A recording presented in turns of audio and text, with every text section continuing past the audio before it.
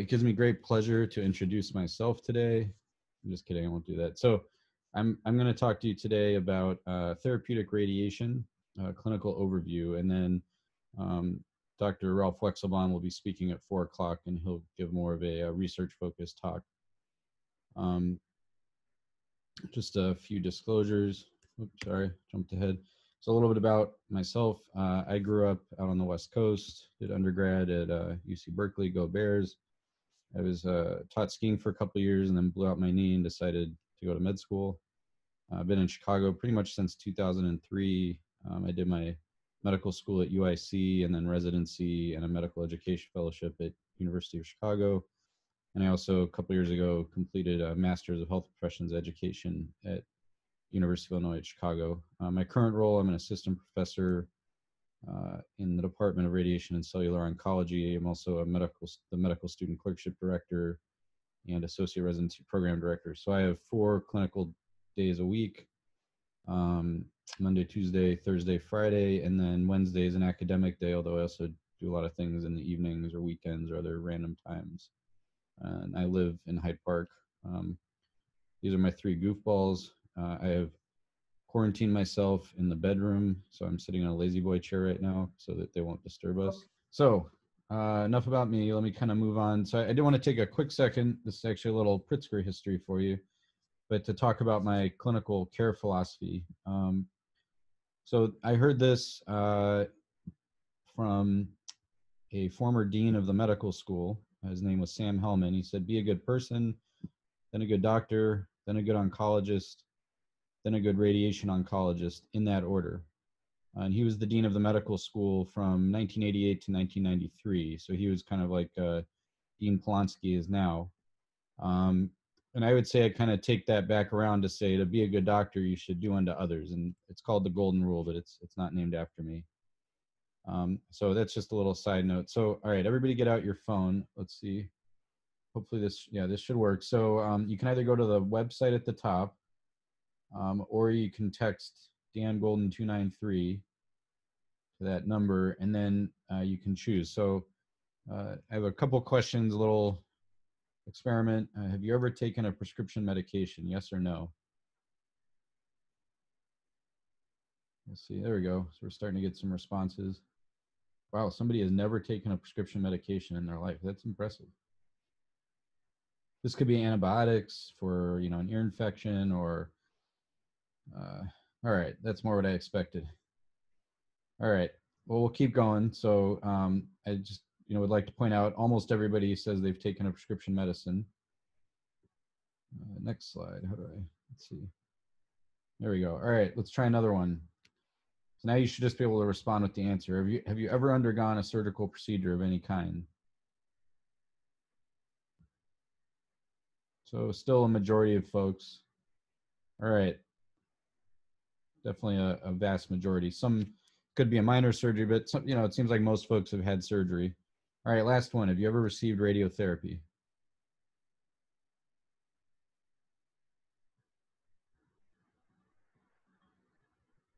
It looks like almost everybody, and I, I have a sneaking suspicion the person that said yes may have accidentally been responding to the prior question.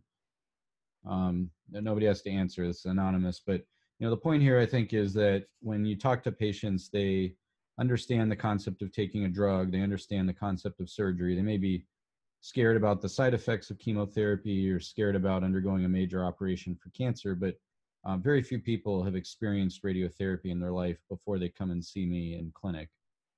Um, so just to give you an outline and I, i'm going to have to speed this up a little bit so i may skip or just talk quickly but want to give you a brief overview of oncology, kind of how I view it, um, clinical oncology, talk about what is radiation, review a brief history of radiation, oncology as a specialty.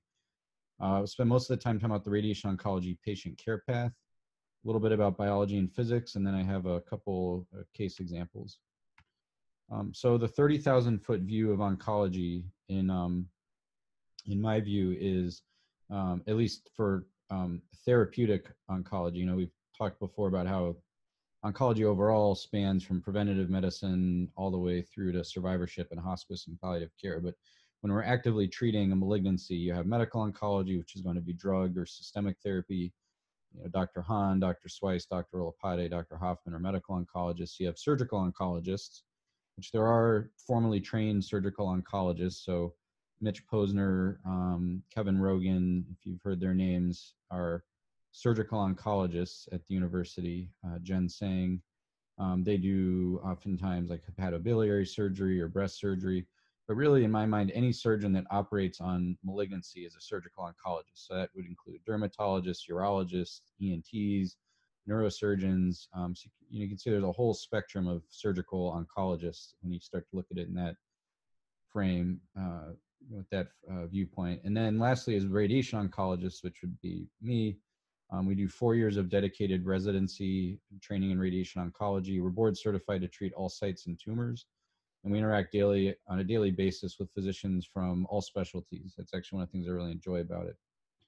So how do I explain why we do radiation to patients? Um, you know, in the simplest terms, if you take this schematic of a brain tumor, um, you have the tumor itself, which is the blue area with microscopic extensions, which would be the little um, you know the pieces of the star coming off and then you have microscopic cancer maybe that is spread elsewhere in the brain or in the body if it's not a brain tumor.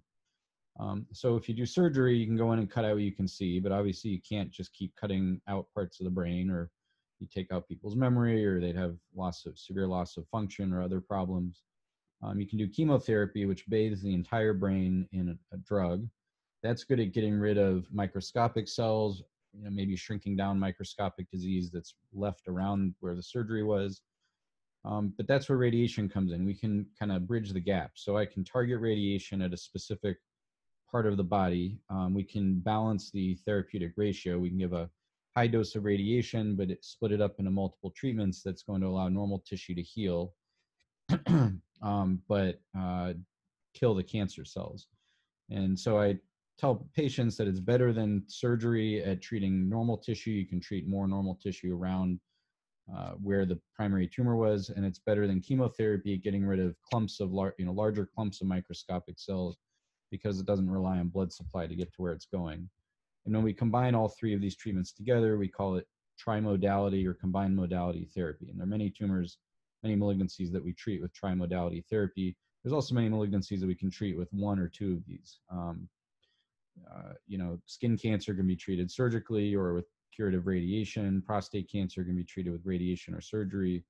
Um, we can treat throat cancer with radiation and chemotherapy by itself.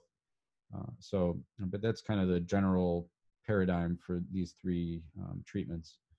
All right, what is radiation? So, actually, let me just stop. I'm going to try to check for questions. Any questions about that so far? I know it's pretty basic. You could type them in or unmute yourself.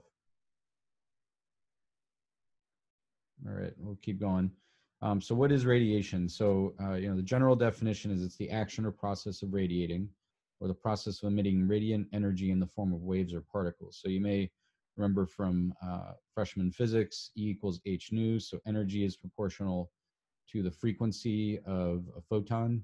Um, and it's uh, inversely proportional h over lambda to the, uh, the wavelength. So higher frequency, shorter wavelength is going to be higher energy photons. Um, in, uh, you know, light is radiation. So I tell patients when we're sitting in a console, they say, you know, the light you're seeing is radiation. I just use much higher energy radiation. Uh, diagnostic radiologists, the way I describe the difference between what I do and what they do is they use low energy x-rays to look at things. And in my clinic, I use high energy x-rays to kill things, preferably the cancer. Um, so question for everyone, what is the difference between a gamma ray or X-ray, and you can respond here. Uh, gamma rays compared to X-rays, do they have a lower energy, a higher energy, the same energy, or it's complicated?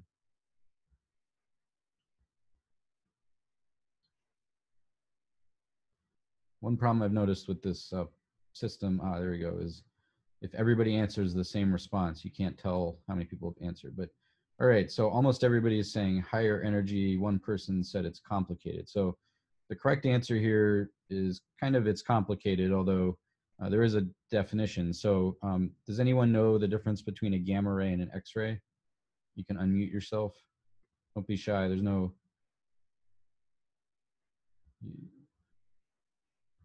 Do I have to call on somebody? Let's see.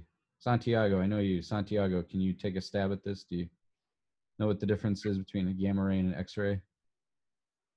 Um, so from freshman physics in college, um, I just remember the gamma rays and X-rays are on different uh, parts of the electromagnetic spectrum, uh, varying in the amount of energy or the, the wavelength. So, so that's a common common answer, and it's uh, actually a common misconception because when I go through the history of radiation, you'll see, but gamma rays 100 years ago were the highest energy photons that we could get, whereas X rays were low energy. And that's because the definition is a gamma ray comes from natural decay of a radioactive isotope, whereas an X ray comes from a man made source.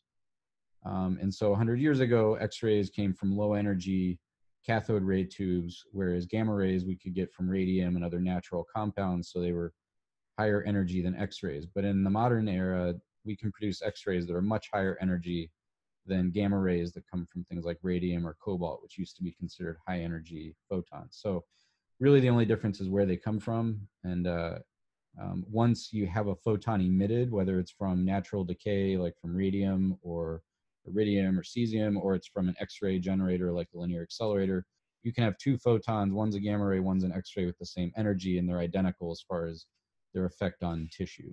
Uh, so, kind of a trick question, but um, most of the time people answer what uh, Santiago did because many of the spectra you see in textbooks show gamma rays as higher energy for historical reasons.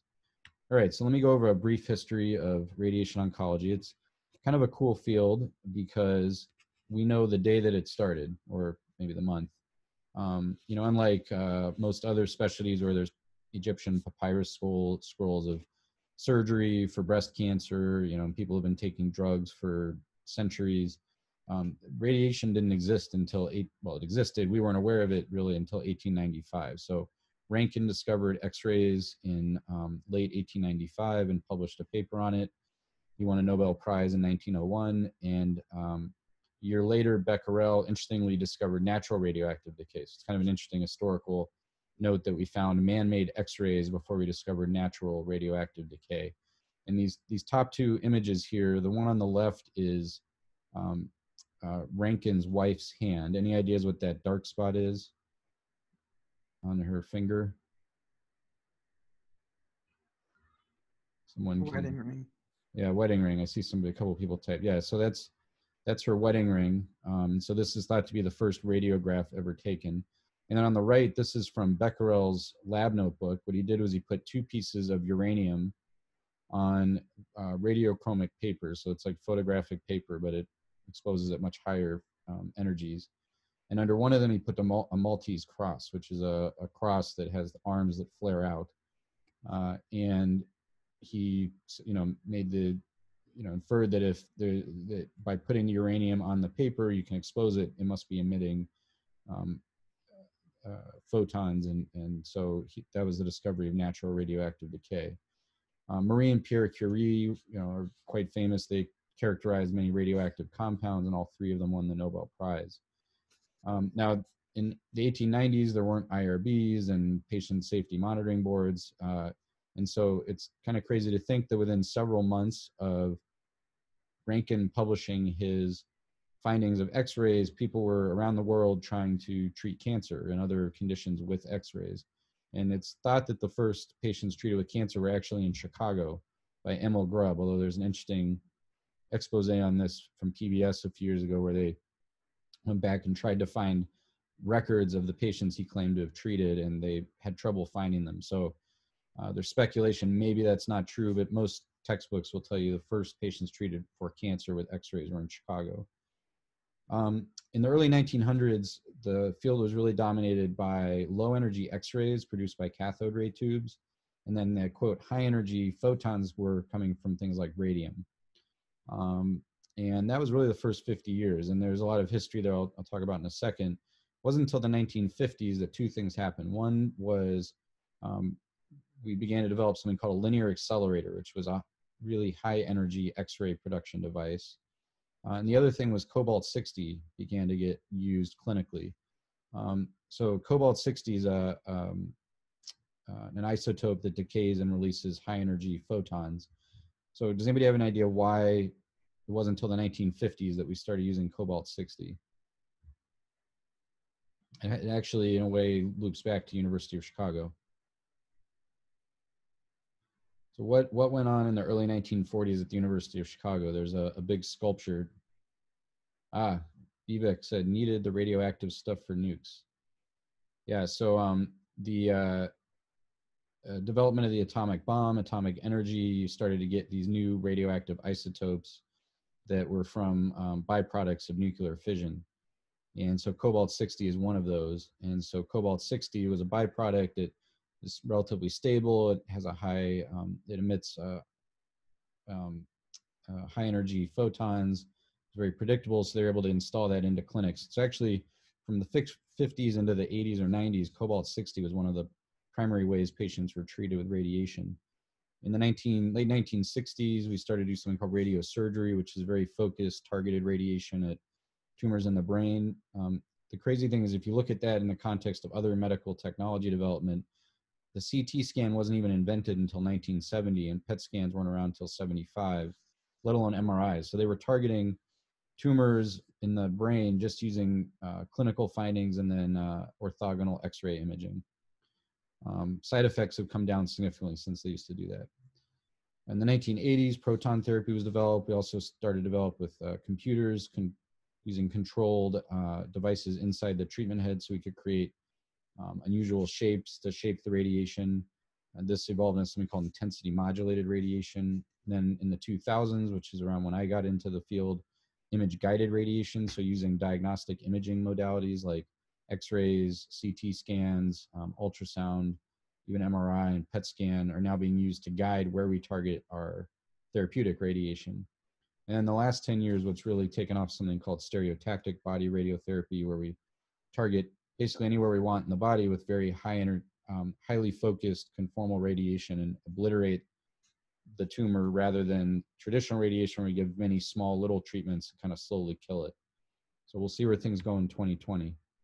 Um, interesting, well, not interesting, uh, sad historical side note, and you know, obviously now with IRBs and data safety monitoring boards, sometimes research can be more cumbersome, but that's for good reason. Uh, you know, in the early 1900s, nobody knew about the late effects of radiation. So there was this uh, rush to treat basically everything and anything. So um, we were treating malignancies, but also treating benign conditions, tinea capitis, tonsillitis, enlarged thymus, ankylosing spondylitis, um, acne. Even I, I, had a patient in my clinic who was treated for acne when she was much younger, and her face was the musculature on her face was slightly atrophy, and I have a sneaking suspicion it was related to her acne treatment. Um, tennis elbow radiation is a very good anti-inflammatory, so um, uh, they would just give a little dose of radiation to the extensor bundle on the on the elbow, and the pain would go away uh, we started to see late effects from some of these. So they used to treat infants with an enlarged thymus, radiation to the upper chest. And 30, 40, 50 years later, what kind of malignancy do you think we saw higher rates of?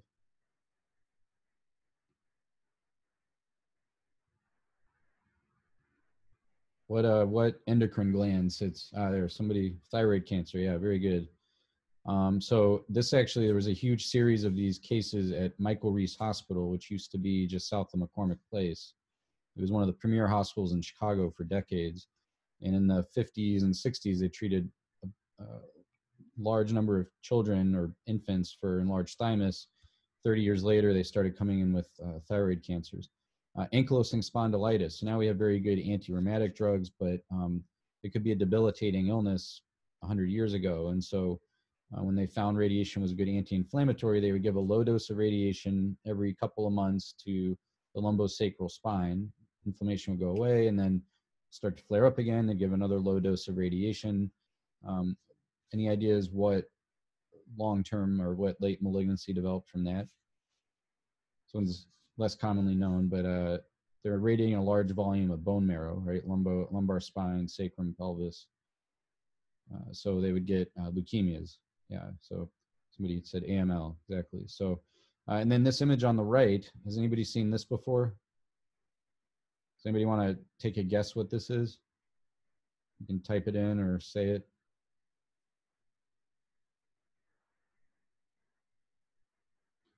see, somebody said microscope. Uh, it's a scope of some some kind, although it's not micro. So this was another example of using X-rays. So they would use it to measure people's feet. Um, yeah, somebody guessed macroscope. Very good. um, so the you can see the woman on the right is having her feet measured, and then the shoe salesman on the left is looking. And they used to do this in ch- with children too. And I actually saw somebody posted. There used to be an old shoe store on 53rd Street in Hyde Park, and they had one of these. And people remember going in there. This was on like a Hyde Park Facebook group. People remember going in there and having their feet measured with a fluoroscope we now don't use radiation for almost anything benign. You know, we're very careful about diagnostic radiation. We try to minimize exposure to patients, especially children, uh, because we now know radiation can cause chromosomal and DNA damage, which can increase lead to an increased risk of malignancy. Um, in the uh, um, you know in the oncology setting, we balance the very small risk of causing a malignancy, at least in adults, against the very real benefit of treating a known cancer. So I describe it to patients as when you have surgery, there's a very small risk you don't wake up. When you have chemotherapy, there's a very small risk of a severe reaction. Um, and with radiation, there's a very small risk of developing a cancer 15, 20 years down the road. Um, and, and they understand that. Now, in children, it's a different story, and um, we do everything we can to minimize risk of late toxicity. Tara Henderson, I believe, is talking next week um, and her expertise is late effects of childhood cancer treatment. So, um, all right. So with that, any questions? Um, otherwise, I'm going to move on to talk about the patient care path. I want to finish at four o'clock. You see, how common is photodynamic therapy used, and for which type of cancers? Um, so uh, photodynamic therapy actually is not radio radiotherapy. Photodynamic therapy is using um, a drug that it, when exposed to a certain frequency of light, at least this is my understanding of it, because I don't do it, it triggers a, um, a, reaction, you know, and kills the tissue. So um, the pulmonologists I know are using this in um, like in the lung with bronchoscopy, and then I know they've used it for to treat skin conditions. Um, but that is not something that we use in the radiotherapy clinic. So uh, you know, photodynamic therapy essentially would be using something in the visible light spectrum that triggers, I think, a, an activation of a drug um, versus what I do, which is using very high energy photons to direct them at an area and, and kill tissue. So um, hopefully that answers that. Um, one other thing to point out is there's a difference. I'm, I'm not an interventional radiologist. So interventional radiologists, like I said, they, they're an extension of diagnostic radiology. So they use diagnostic imaging modalities, x-rays, CT scans, MRIs, et cetera, ultrasound to guide a therapy or intervention of some kind. It could be placing a catheter, a stent, they might obliterate something with radio frequency ablation or cryotherapy, um, but they don't use high energy x-rays to treat things. Um, there's a couple exceptions to that, although even there, they, they infuse something called theraspheres, which are radioactive gold seeds, uh, not gold, glass beads into the liver, for example, and it preferentially gets taken into the tumor because tumors are supplied primarily by the hepatic artery, whereas the rest of the liver, a lot of the blood comes from the portal system. Um, but even there, they're really using the intervent the diagnostic radiology techniques to guide where they put the glass beads. And radiation oncologists often are involved. We aren't at the university, but I have colleagues around the country that go into those procedures with the interventional radiologist and it's the radiation oncologist that calculates the actual dose of the glass beads, the radioactive glass beads.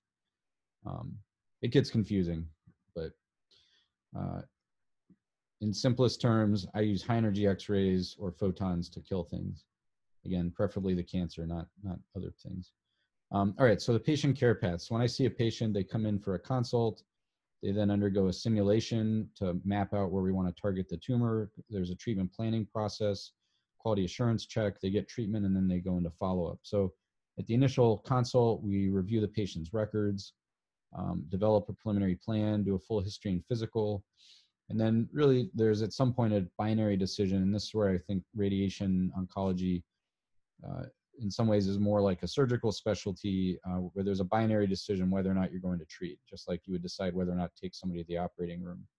Um, you then have to decide though on the amount of radiation, where you're going to target, uh, and you obtain informed consent. So there's uh, several different radiation ways of delivering radiotherapy in the clinic. Uh, the most common way, kind of the workhorse of modern radiation oncology, is called the linear accelerator. Um, and so uh, linear accelerators can produce multiple energies, multiple energies of X-rays as well as electrons. There's this alphabet soup of different kinds of treatments we can do with linear accelerators. I'm not going to get into that today. There's also specific types. There's something called a CyberKnife or tomotherapy, um, but these are really just specialized linear accelerators. Um, so this is a CyberKnife. What it is, and I don't know if you can see my mouse, um, but uh, the head of this unit is a linear accelerator, and then it's mounted. Um, oh, good. So you can see my mouse, and it's mounted right here on a robotic arm, like what they use in Detroit to build cars, and so it's computer controlled, and it gives you more degrees of freedom than you can get with a traditional linear accelerator as far as angles of entry into the patient. So it can come around all different angles, and um, uh, the other thing that it does is it can track tumor motion and actually move while it's treating the patient to follow, say, a tumor that's moving while the patient's breathing. Um, that was a really big deal 25 years ago when this was first uh, developed. Um, but um, uh, nowadays, linear accelerators have ways of kind of mimicking that technology. Uh, was there another question or? Not sure if that was a belated maybe not. All right. Um, and then this is a tomotherapy unit. So again, it's a linear accelerator right here, which is mounted in a CT gantry unit. So CT scans are nowadays called spiral CTs. They spin around the patient. And as they're spinning around, they're pointing a beam of x-rays, which gets picked up and then converted into an image.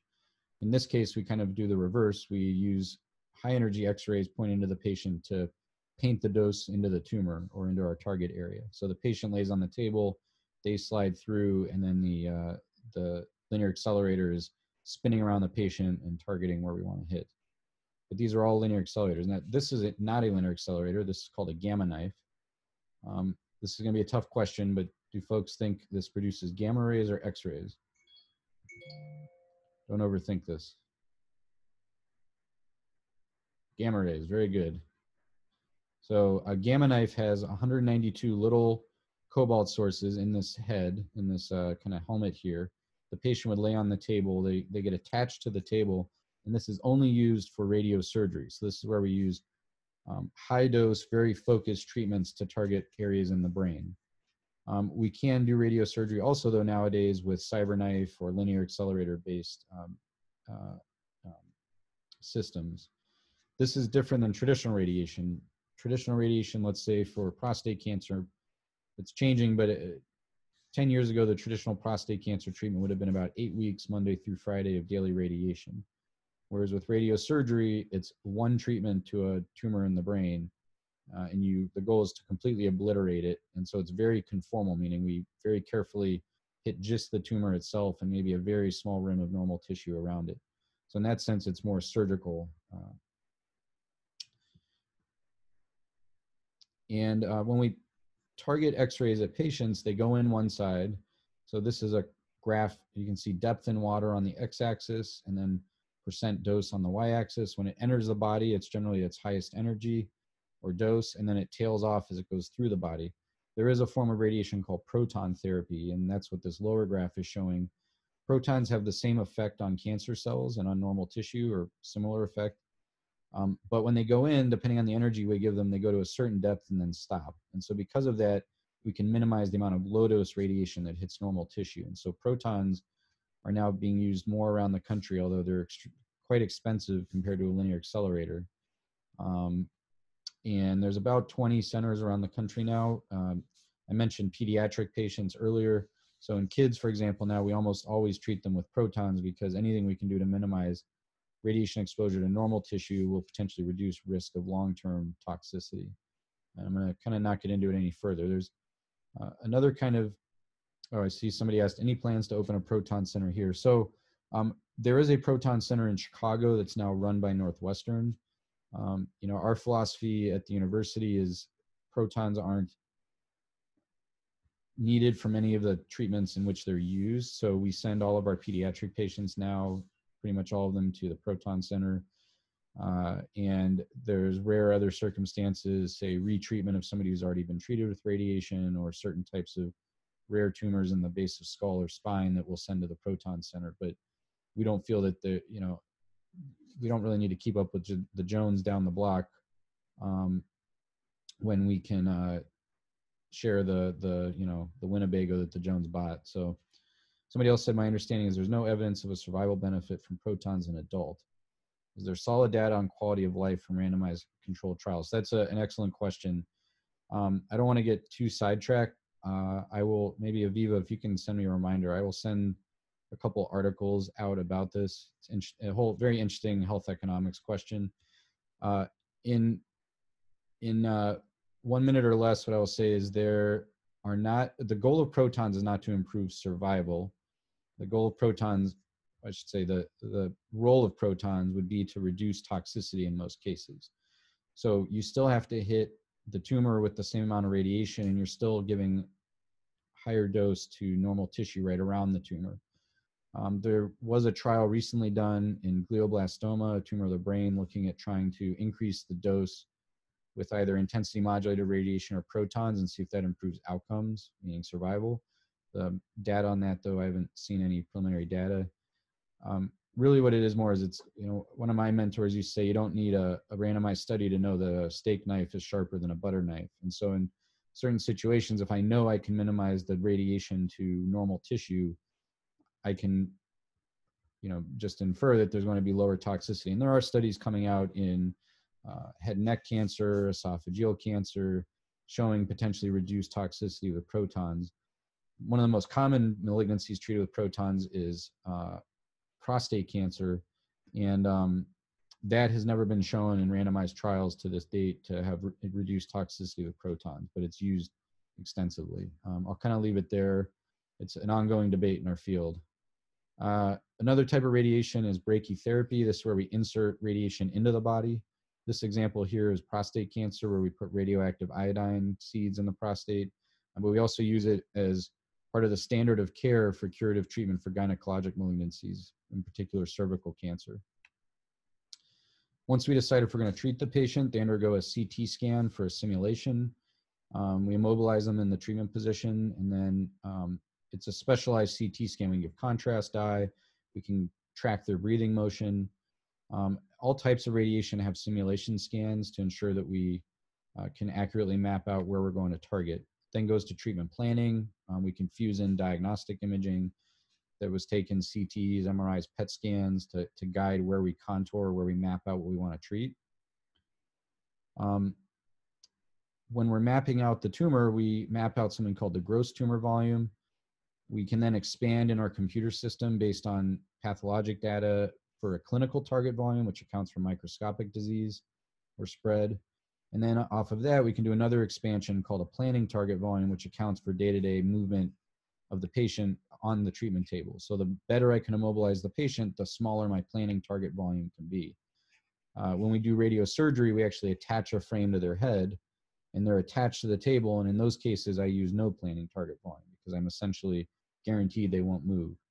One of the advantages I mentioned earlier that we now do diagnostic imaging on the treatment table is that allows me uh, to more confidently know I'm hitting the right spot, which allows me to then have a reduced target margin. Uh, so here's an example in a brain tumor. You can see the primary tumor was mapped out in blue. They then did a two centimeter expansion to the green. Because we know that brain tumors don't grow through bone and skin, we don't go out there.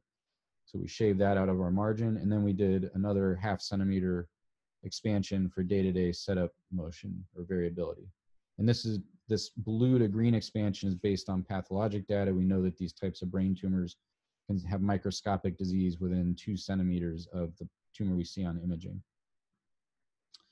We then write a prescription. This is very similar to writing a drug prescription. So it's the amount we're going to give, how many treatments over how many days and we work with a dosimetrist or physicist. Uh, their job is to come up with custom radiation plans. And there we evaluate the plan that they come up with. We look at coverage of the target. We also look at doses to normal structures. So here's an example of a prostate cancer treatment. You can see the prostate's mapped out in red, the rectum's behind it, the bladder's in front of it, the femoral heads are lateral to it. And so those are all normal structures we're trying to miss. And these lines you see are called isodose lines.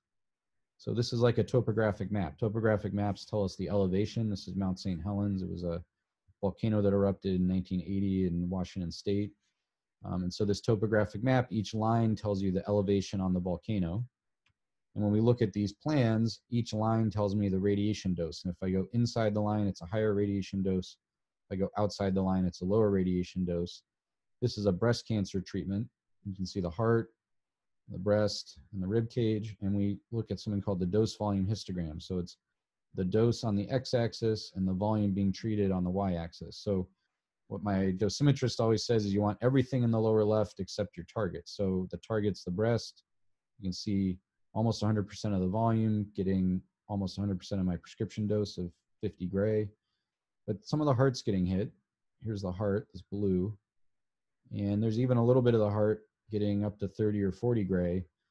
And if you think about your anatomy, what important blood vessel runs right here? It's the left anterior descending. And if that gets a high dose of radiation, we actually know from population studies of women treated for left-sided breast cancer, they're at an increased risk 20 years later 5, 10, 15, the risk goes up of heart issues. And that's because the heart used to be in the field. So now we do other things to get the heart out of the field. We can treat them laying on their belly. This is called prone. Now you can see their um, the radiation is completely missing the heart. So when we look at our dose volume histogram, the heart's getting almost no radiation. It gets a lot more complicated. This is a prostate cancer treatment. You're talking to me.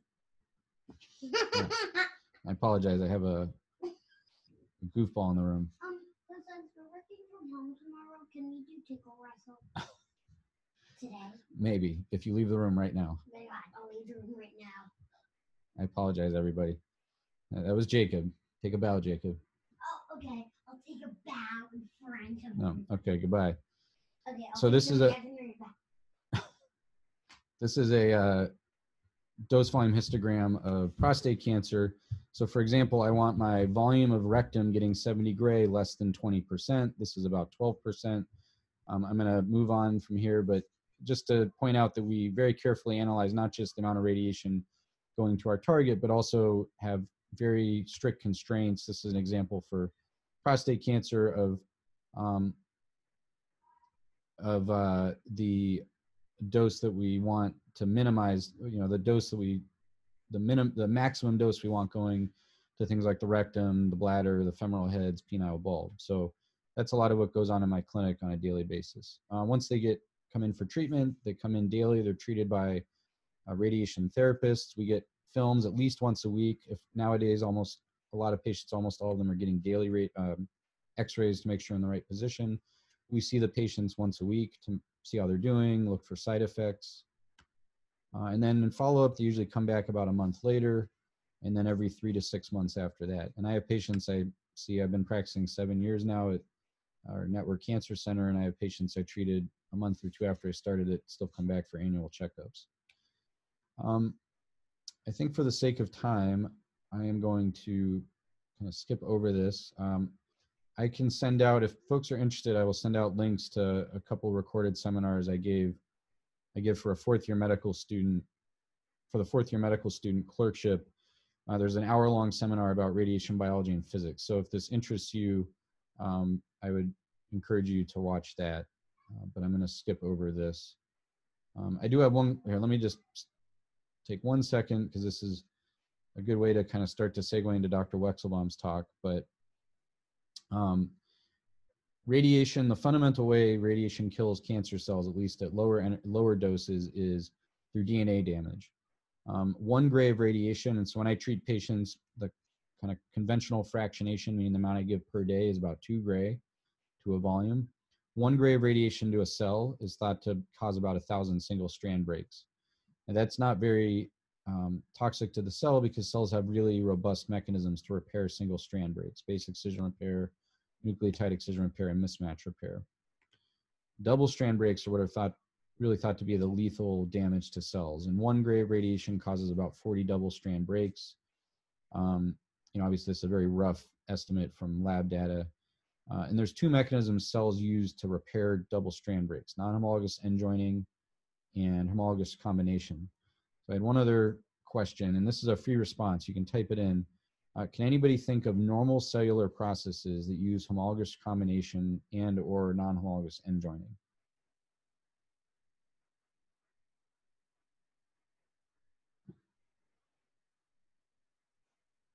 Very good, meiosis. So meiosis is for, I see somebody typing DNA replication.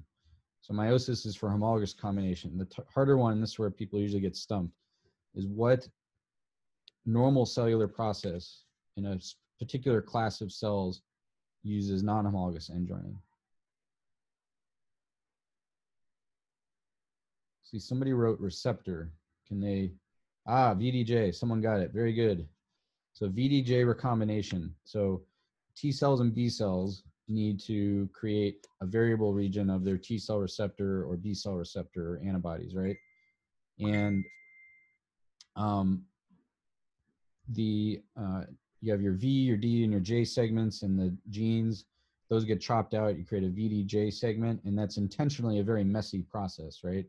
You know, the goal is to create a whole slew of different kinds of antibody receptors or, or B and T cell receptors. Um, and so one thing to point out is in um, in cells that are in early, uh, sorry, in um, late S or G2, they have sister chromatids. They can undergo homologous, homologous combination. That's a very high um, fidelity repair mechanism. And by doing this, uh, they the damage caused by radiation is less likely to be cytotoxic, where cells in G1 and early S are more likely to undergo non-homologous end joining, which is a very messy process, and more likely to have a, a kind of fundamentally cytotoxic attempt at repair, and they and they're more likely to die. So cells are differentially sensitive depending on where they are in the cell cycle to radiation effects. Um, I'm going to skip through this.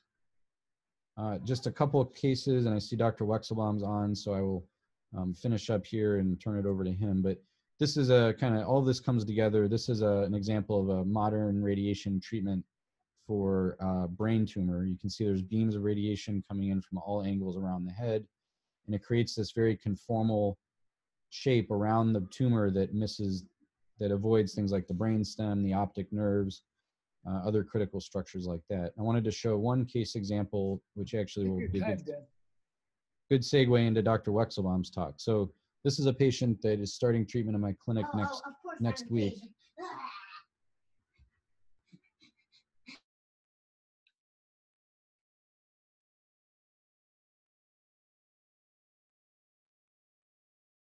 I am a patient. Sorry, everybody. Um, Let me take another bath. so this lady, I, Take a bath in your- this lady I treated two years ago for rectal cancer. She got chemotherapy and radiation for five and a half weeks, and then had a surgical resection. She has a permanent ostomy, and she is doing well. Was doing well, and then about a year ago was found to have a recurrent tumor in her right lower lobe. It was the only site of disease in her body. It was biopsied and shown to be re- metastatic rectal cancer. So she actually underwent surgical resection. She had a right lower lobectomy, um, and was again uh, had no evidence of disease. And then about three months ago, had a surveillance PET scan and was found to have a recurrent tumor in her right hilum, so right under the right main stem bronchus. I treated that with 10 fractions of radiation. That's now disappeared or gone, but she developed a single small tumor. Gone without a trace. That's uh, the commentary from the peanut gallery. Single small oh, tumor oh, in the- peanut butter. in the left lower lobe. All right, it's it was um, it's right here. It's behind this little green. You can see it on the CT scan. So what I did was I contoured it. This is the GTV in kind of three-dimensional space. We then expanded it. This is now the Do you think PTV here. Amazing, whoever you're talking to more. Um, so this is a safety margin of five millimeters around the tumor. And then we planned it out using eight beams from all around her body. Now her prior radiation treatment was over here on the right. So we had to use beams that aren't going through or retreated previously. And that develops a radiation plan with a very conformal dose right around this. So this is going to be treated with stereotactic body radiation, five treatments of 10 gray each day. And that is enough that it should obliterate the tumor and get rid of it. Um, this shows you the low dose right around it. So this is 50% dose. So you can see even that's very minimal dose around hitting normal tissue. So she'll have essentially, knock on wood, she should have she should have no significant side effects from this Daddy, kind are of you treatment. sneezing out tons of tissues downstairs, are you?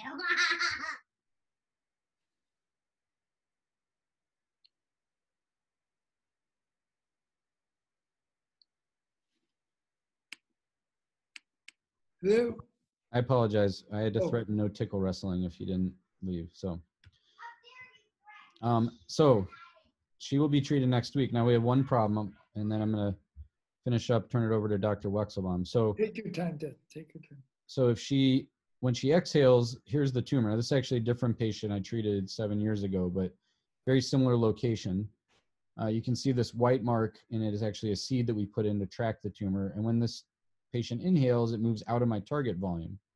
So that's a problem, right? If I don't hit the tumor, I'm not going to kill the cancer. So what can I do about that? Well, one option would be to expand my target volume to have a bigger safety margin. So no matter where it moves when the patient's breathing, I can hit it. Um, but that means treating more normal tissue, which would increase risk of side effects. So we do something else. We can do something called respiratory gating, where we get a four four dimensional CT scan. So it's a special CT where we can see their breathing motion. And then we can track their breathing on the treatment table. And when the patient exhales, the machine turns on. When it senses that they're inhaling, it turns off. And so we only have to treat the area of tumor, uh, the area in the body where the tumor is when they exhale. So this is a allows smaller target margins. And so this is that patient. I just kind of switched patients on you that I treated several years ago. You can see before treatment, and then in May of 2014, it's essentially completely gone. And this is actually one of the patients I still see in follow up. Uh, the tumor is gone, and he's uh, seven years out now and doing great. So um, I'll finish there. Uh, if anybody has questions, I'd be happy to. I see. Okay, sorry. Um, for the case of the first patient with metastatic cancer, is the goal therapeutic or curative? Well, that is an excellent question. So, uh, there are case series, and Dr. Weichselbaum, who's going to speak next about oligometastases, will will talk about this, I think.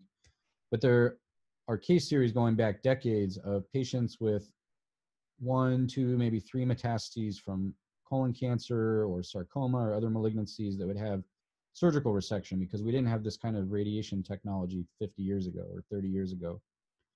And a percent of them, probably around 20 to 30 percent, could actually be cured. Maybe that's slightly optimistic, but there were a, a, a fraction of those patients cured. So, yes, the goal is cure because we treat other diseases like pancreatic cancer or certain brain tumors with curative intent that have lower cure rates than that.